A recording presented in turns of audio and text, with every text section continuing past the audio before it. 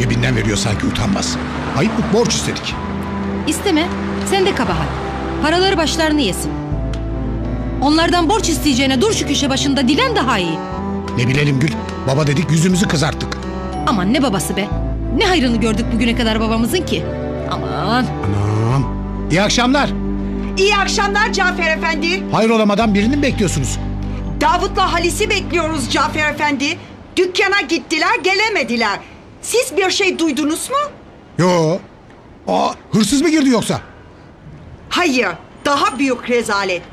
Eskici Hüseyin Efendi ahlaksız teklif yaptı telefonla Ayşe'ye. Aa, ne? Tüh geberesici ahlaksız. Yine mi? Evet yine polise şikayet etmek lazım onu. Asmak lazım o iti bir yerinden asmak. Ah geliyorlar. Davut ne oldu? Yok bir şey. Niye çıktınız oraya? Tövbe. E merak ettik ama. Anlatacağım. Girin içeri çabuk.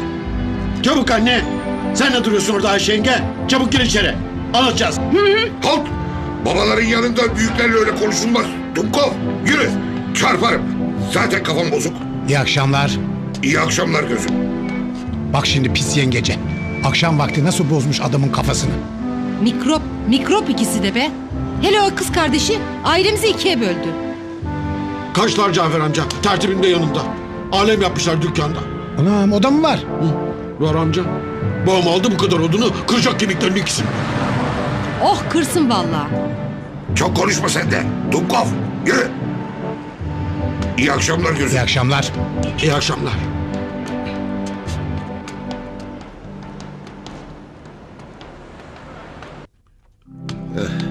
Ne yaptınız Davut? Kaçmışlar Ulviye. Oo Durabilirler mi anne? Babam aldı bu kadar sopayı eline. ahlaksızlar. Hele o galibi hiç gözüm görmesin. Bindireceğim bir otobüse yarın hayırsızı doğru köye. Doğru köyüne gönderecek anne. Gönderecek tabii utanmaz.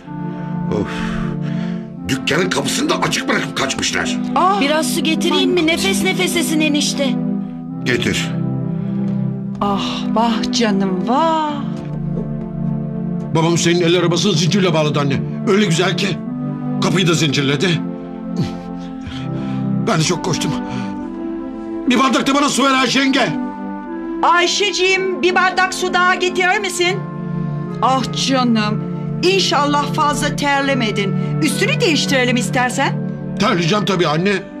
Nasıl öyle Ayşe yengeme ahlaksız teklif yaparlarmış bakalım. Görecek onlar.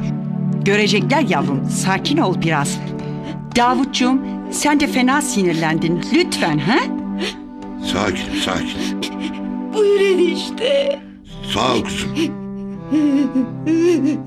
Ayşe niye ağlıyorsun? Oo, üzüldü tabii Davut. Aa, Benim yüzümden sen de üzüldün enişte. Ağlama Ayşe yenge. Görecek onlar. Kıracağım çenelerin ikisinin de. Sana ahlaksız teklif yapmak nasıl olmuş bakalım. o Ayşe'cim hadi gel gel. Kapat çeneni be çocukların yanında. Ne aç gözlüymüş ikisi de. Hadi sultanım bırak. Onun olduğu belli. Baban çok ayıp etti Gül. Sen de zamansız açtın lafı ama Cafer. Adam daha çorbasından bir kaşık almadan Olsun Gül. Hadi biz bir hata ettik. Böyle mi yapmalıydık? Aç gözünü. Bağırma öyle bakayım. Çekerim kulağını. Şımardın mı? verecek mecbur.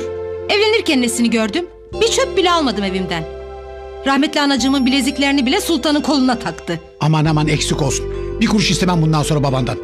Sen isteme. Bana verecek hakkım. Tabii kız çocuğuna üvey evlat muamelesi. Oğulları istese anında yaratır. Alamazsınız Gül. O kadın babanın yanında olduğu müddetçe hiçbiriniz beş kuruş alamazsınız. Boşanmadıkça hayat yok size. Allah kahretsin. Hay o babama ben ne diyeyim bilmem ki.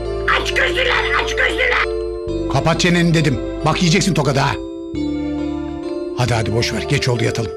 Bu yaştan sonra yola mı getireceksiniz adamı? Ah, kavanoz dipli dünya.